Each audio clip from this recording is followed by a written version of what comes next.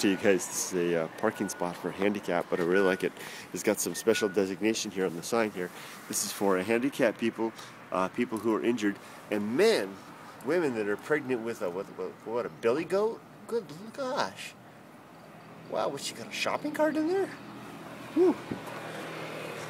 Yeah, she'd need that spot for sure.